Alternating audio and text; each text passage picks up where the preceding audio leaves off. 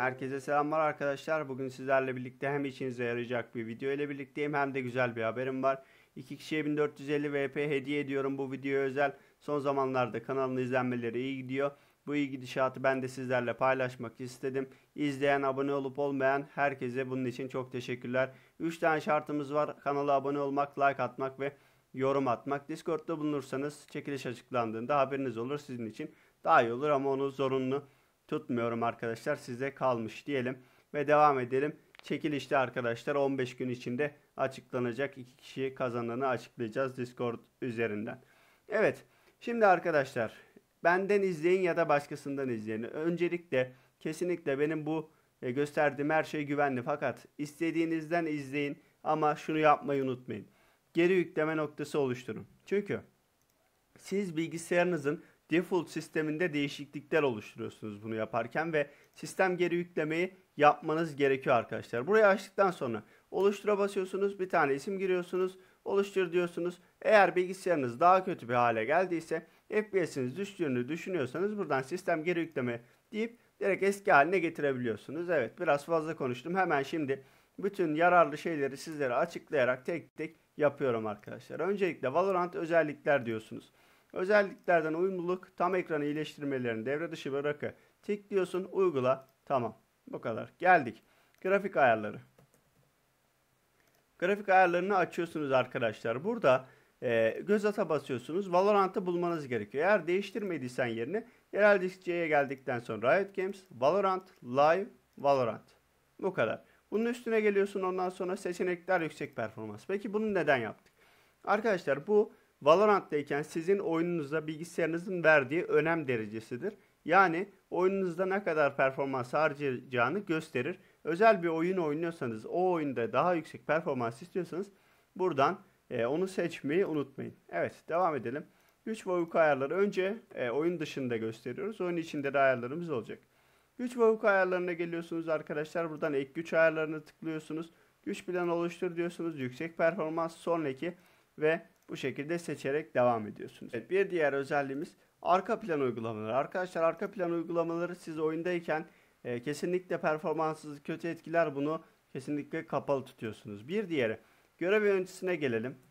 Bakın burada çok önemli bir şey var. Özellikle bilgisayarınız açılıp kapanırken e, bazen yavaş ya da sürenin uzadığını e, anlıyorsunuz bazı durumlarda. Bu durumda ne yapmamız gerekiyor? Başlangıçta arkadaşlar bunlar bilgisayarımızı yorar. Bunları devre dışı bırakıyorsunuz. Hani şurada eğer e, illa ben kullanıyorum dediğiniz bir şey varsa devre dışı bırakmayabilirsiniz ama buradaki çoğu şeyi devre dışı bırakırsanız bilgisayarınız o kadar hızlı açılır arkadaşlar. Bakın Vanguard açılıyormuş mesela. Ben de bunlar yavaşlatıyor olabilir bilgisayarımı. Güncelleştirmelerini kesinlikle kontrol et. Bakın bu en önemli şeylerden biri. Peki ne güncelleştirmesi bunlar? Neden yapıyoruz? Güncelleştirmeleri denet diye açıyorsun. Buradan güncelsen bu şekilde gözükür. Güncelleştirmeleri denetle dersin ve yaparsın. Bu Windows güncellemen. Bir de ekran kartı güncellemen vardır. Burada GeForce Experience'ı açıyorsun. Aç'a bastıktan sonra birazcık sürebilir. Burada son sürümün olması çok önemli. Sürücülere geliyorsun güncelleştirmeleri kontrol et. Burada hızlı kuruluma basıyorsunuz arkadaşlar. Beta sürümündekileri e, yapmanızı tavsiye etmem ama e, tabii ki ekran kartı güncellemeleri de çok önemli arkadaşlar. Evet. Şimdi Nvidia denetim masasından birkaç ayar yapalım. Bakın burada sizi uyarmak istiyorum. Hangi video olursa olsun arkadaşlar. Nvidia denetim masasındaki ayarlarla çok fazla oynamayın arkadaşlar. Çünkü bu gerçekten sizin için büyük problemler yaratabilir. Sadece denetim masasından arkadaşlar bakın şurada bir çubuk var. Kalite, performans. Ben buradan kaliteyi performansa seçiyorum. Sen de muhtemelen kalitede ya da ortadadır. Tamamen performansa getiriyorsun.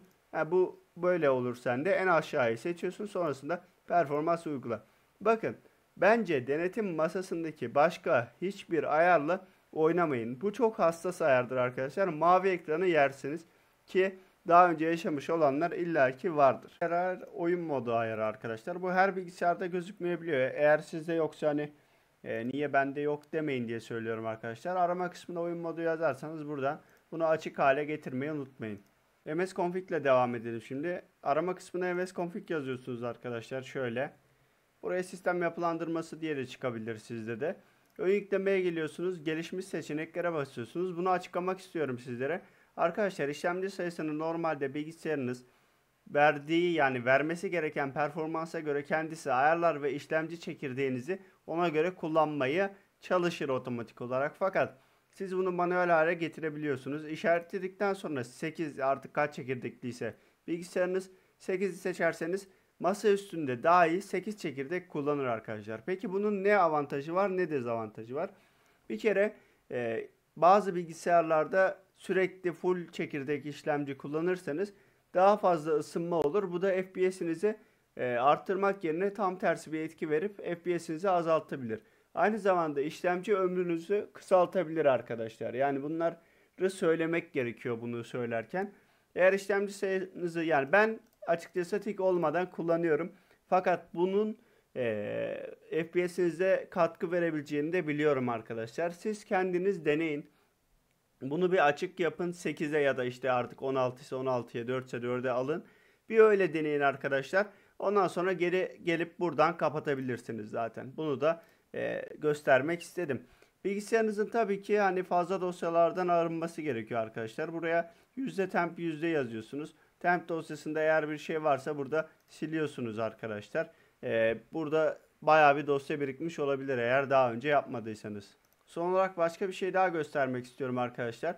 Bilgisayarınızda bazen e, belirli büyük dosyalar ya da oyunlar sildiğinizde ekstradan bir şeyler kalmış olabiliyor. Sağlıklı silinmemiş olabiliyor. Onun için sizin diskinizi kontrol etmenizi tavsiye ederim. Disk temizleme biraz zahmetli ve uzun süren bir işlem. Onun için e, onu göstermeyeceğim. Bazı bilgisayarlarda da sorun çıkartıyor arkadaşlar. Fakat siz buraya girdiğinizde örneğin ben FIFA Online 4 diye bir oyun oynuyordum.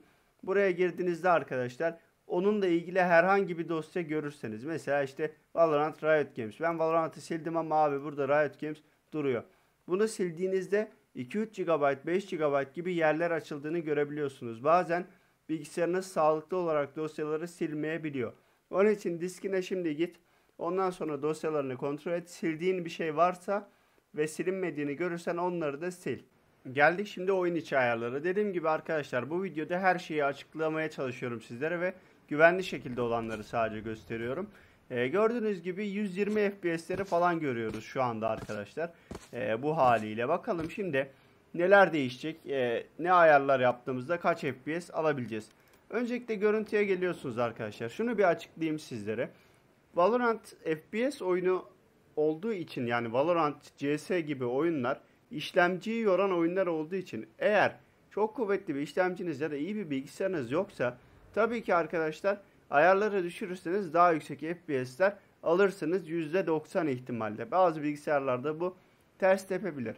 Bir kere oyunda en yüksek FPS'i belirleyen şey çözünürlüktür arkadaşlar. Çözünürlüğü ne kadar düşürürseniz, ne kadar azalırsanız o kadar yüksek FPS alırsınız. Bakın e, peki yani ne oynayabiliriz diyorsanız 1280'e 960 4'e 3 e, genelde tercih edilen bir ayar. Bunu oynayabilirsiniz. Uygulaya bastıktan sonra şuradan hemen grafik kalitesinden bütün ayarlarımızı gösterelim. Çok izlekli görselleştirme sizin işlemcinizin çekirdeklerinizin yani bir birden çok işlemci çekirdeğinin çalışması anlamına gelir ve bu ayarın açık olması gerekiyor. Materyal kalitesi düşük, doku, ayrıntı kalitesi, arayüz kalitesi düşük arkadaşlar. Zaten bir FPS oyunda bunlara aslında çok da ihtiyacınız yok. Kenar yumuşatma kesinlikle kapalı olması lazım. FPS'i en az 30-40 düşürür. Eş yönsüz filtreleme. Bunun e, 2x'de olmasını tavsiye ediyorum. 1x'i de deneyebilirsin ama yani bence çok kötü duruyor görüntü. Onun için ben 2x'te tercih ediyorum. Netliği arttır kapalı. E, beta deneysel keskinleştirme kapalı. Bloom'u ben açık oynuyorum arkadaşlar. Bozulmayla atılan gölgeleri de kapalı olarak tutmanız gerekiyor. Bu ayarları yaptıktan sonra hemen ayarlardan çık diyelim. Bakın herhangi bir düz duvar önüne geldiğimde FPS'im 220'leri buldu gördüğünüz gibi. 130-140 olan bir FPS 220'leri çok rahat buldu. Ki siz masa üstündeki ayarları da yaptığınızda çok daha yüksek FPS'leri görebileceksiniz. E, bu bilgisayar benim elimdeki 3 yıllık falan bir bilgisayar ve gerçekten hani bakımın da geldiği e, zamandayım şu anda. Ona rağmen 200 FPS'ler, 220 FPS'ler hiç fena değil bu bilgisayar için. Umarım beğenmişsinizdir arkadaşlar. Yorumlarda sorularınızı cevaplamaya çalışırım. İzlediğiniz için hepinize çok teşekkürler. Kendinize çok iyi bakın.